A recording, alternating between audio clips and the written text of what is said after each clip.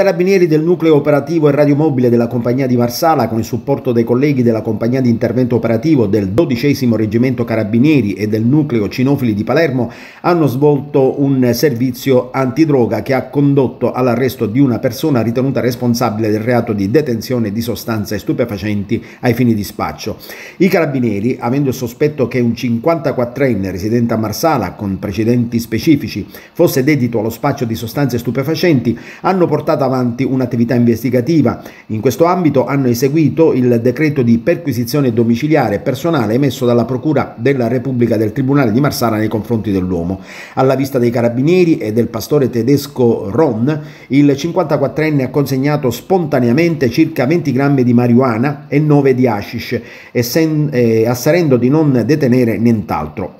Tuttavia, durante l'attività i carabinieri hanno rinvenuto ulteriori 445 grammi di marijuana, circa 10 grammi di cocaina, un contenitore con alcuni semi di piante di cannabis, 550 euro in contanti, probabilmente provento dall'attività illecita, tre bilancini di precisione ancora intrisi di sostanza stupefacente e sostanza da taglio del tipo mannite e altro materiale vario per il confezionamento delle dosi. Dato l'ingente quantitativo di sostanza stupefacente rinvenuta e le circostanze che lasciano ipotizzare la cessione della droga a terzi, i carabinieri hanno dichiarato il 54enne in stato di arresto. L'uomo, su disposizione della competente eh, autorità giudiziaria in sede di convalida dell'arresto, è stato sottoposto alla misura dell'obbligo di dimora nel comune di residenza con il divieto di uscire dalla propria abitazione dalle 21 alle 7 del giorno successivo.